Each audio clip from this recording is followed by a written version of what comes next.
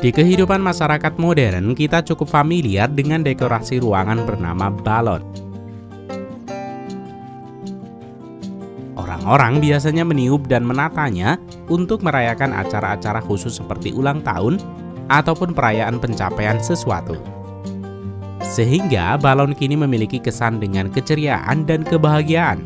Namun, balon zaman dulu mungkin sedikit gelap karena balon pertama kali dibuat dari bahan yang tipis seperti selaput dari bagian tubuh hewan yang biasanya dari usus besar ataupun kandung kemih. Beruntung pada abad ke-19 seseorang menemukan balon karet yang masih kita gunakan sampai sekarang yang terbuat dari bahan latek alami. Bahan latek alami dihasilkan dari perkebunan karet yang diproduksi dari negara Indonesia dan Malaysia.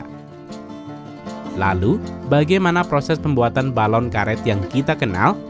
Mari kita kunjungi pabrik pembuatan balon di Spanyol.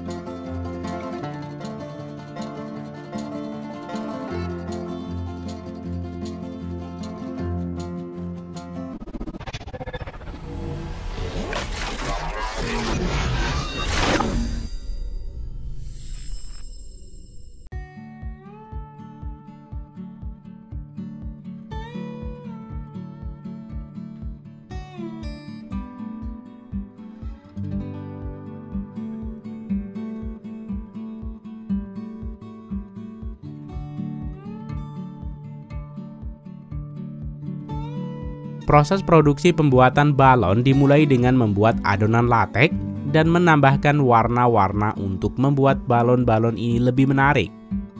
Proses pencampuran pigmen ke dalam latek memerlukan waktu selama 16 jam.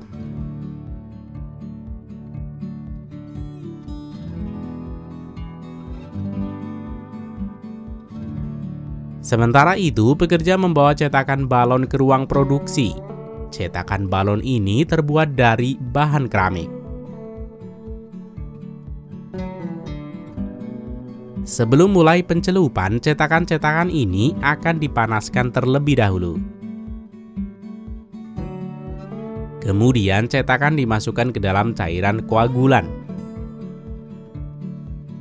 Cetakan ini akan dimasukkan dua kali pencelupan, Celupan pertama lebih dalam dan celupan kedua hanya pada area cetakan body. Selain dengan sistem pencelupan koagulan, beberapa pabrik menerapkan sistem semprot untuk melapisi cetakan. Larutan koagulan yang umum digunakan adalah campuran air garam berbasis kalsium, sabun, dan bedak. Garam adalah bahan utama koagulan. Sabun membantu penyebaran latek dalam cetakan secara rata, dan bedak membantu meringankan penghapusan karet dari cetakan pada langkah selanjutnya. Setelah mendapatkan lapisan koagulan, cetakan dipanaskan antara 38 derajat Celcius dan kemudian dimasukkan ke dalam tangki latek sesuai dengan warna yang diinginkan.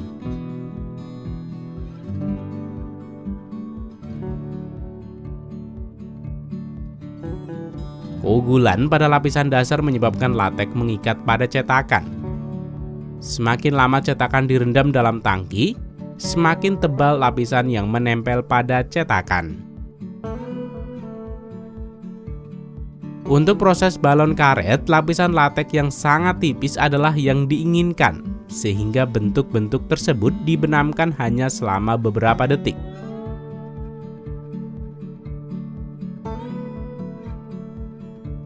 Cetakan harus dimasukkan dan dilepaskan dengan kecepatan yang dikontrol dengan hati-hati untuk menghindari terperangkapnya gelembung udara dan untuk mencapai lapisan yang rata dan tipis pada permukaan cetakan.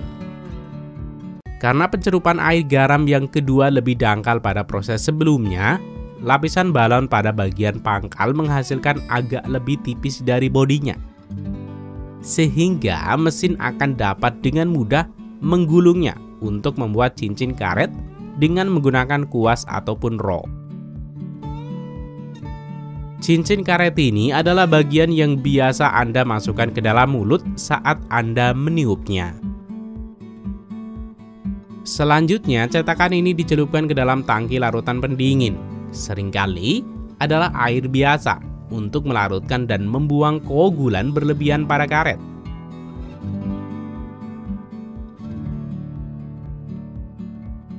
Kemudian, balon dikeluarkan secara mekanis dari cetakan. Salah satu cara mengeluarkan dari cetakan adalah menggunakan semprotan air ataupun menggunakan spongy grabbers untuk membantu melepaskan balon dari cetakan.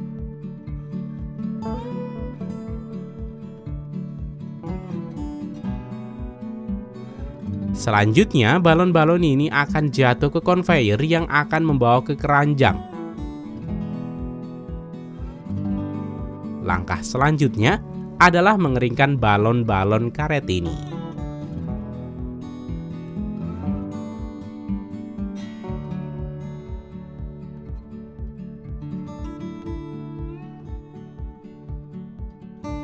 Setelah dikeringkan, pekerja akan memasukkan ke pipa udara dan membiarkan mesin meniupnya untuk mengecek dan memastikan setiap balon tidak ada kebocoran.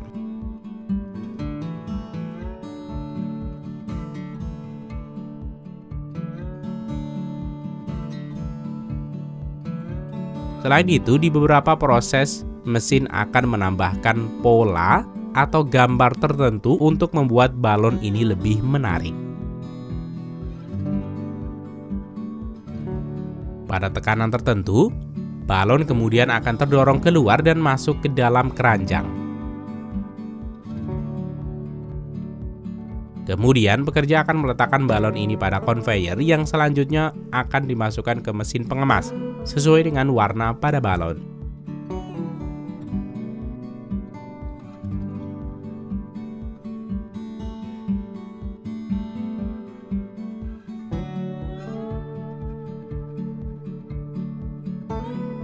Mesin secara otomatis menghitung jumlah balon dan mengemasnya ke dalam kemasan plastik dan siap untuk dijual di toko-toko untuk memeriahkan perayaan dan acara-acara yang Anda rayakan.